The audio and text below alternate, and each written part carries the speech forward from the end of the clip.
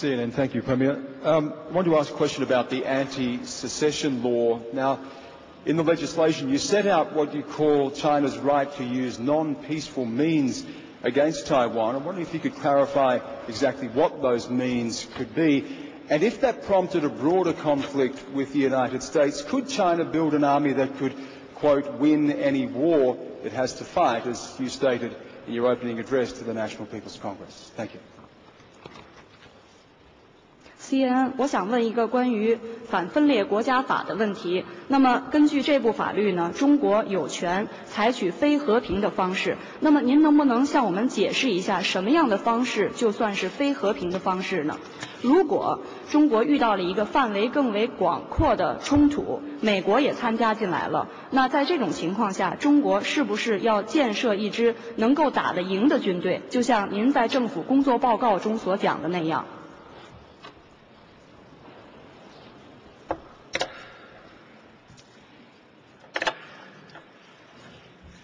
谢谢你的提问。首先，我还是想说明这是一部什么样的法律。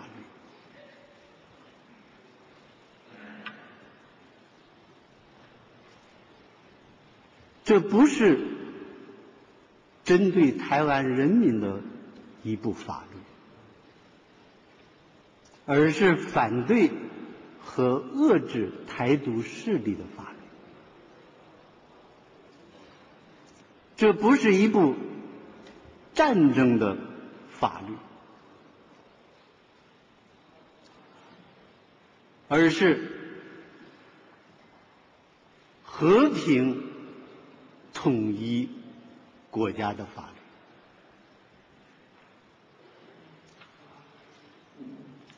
这不是一个。改变两岸同属一个中国现状的法律，而是有利于台海地区和平和稳定的法律。其次，我要讲一讲台湾的现状啊。台海局、台海的现状是什么？这是一个重大问题。世界上只有一个中国，尽管大陆与台湾没有实现统一。但是，丝毫没有改变一个中国的现实。这就是当前台海的现状。第三，你所说的采用。非和平方式的三种情况，都是我们不愿意看到。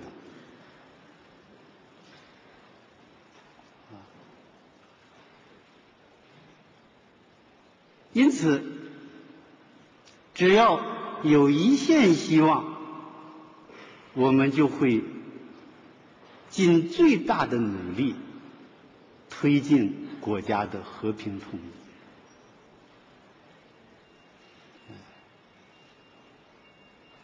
我们之所以制定这个法，是体现包括两千三百万台湾同胞在内的全中国人民维护国家统一和领土完整。反对把台湾从中国分裂出去的事实。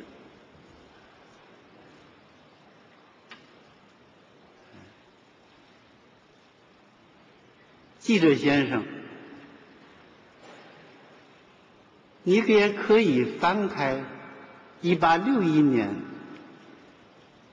贵国制定的两部反分裂法，不也是同样的内容吗？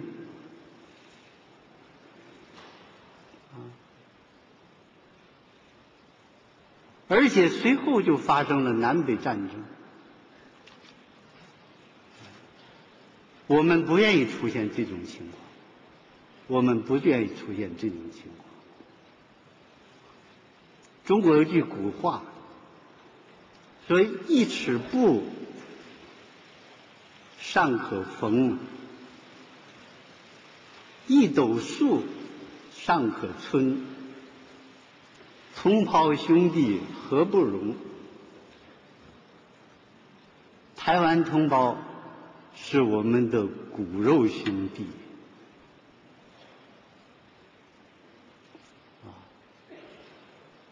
我们希望全体台湾同胞能够理解我们的立法用意。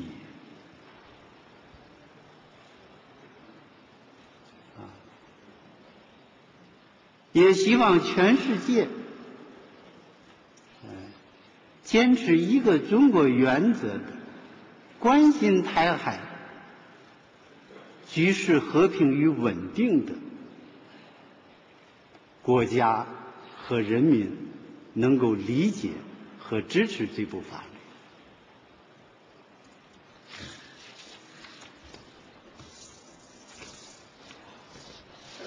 这。至于你谈到的，啊，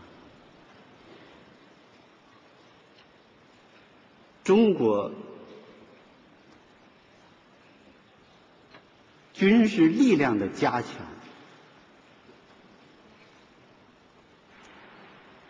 我想在这里多讲两句。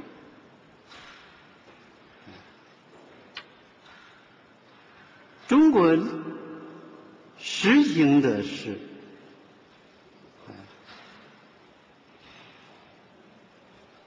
自卫的国防的方针。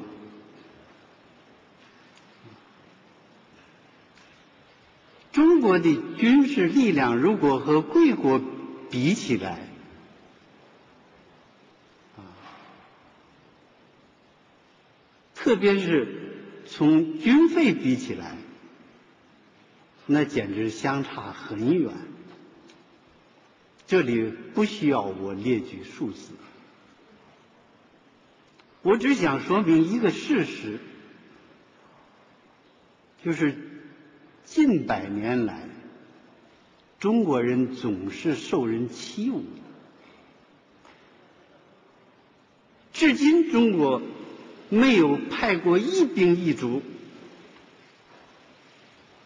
去占领任何国家一寸土地。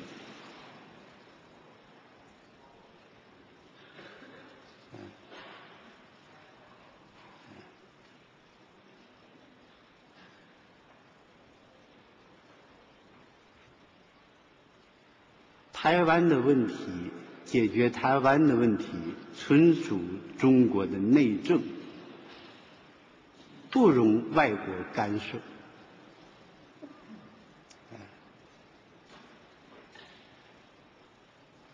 我们不希望外国干涉，但是也不怕外国干涉。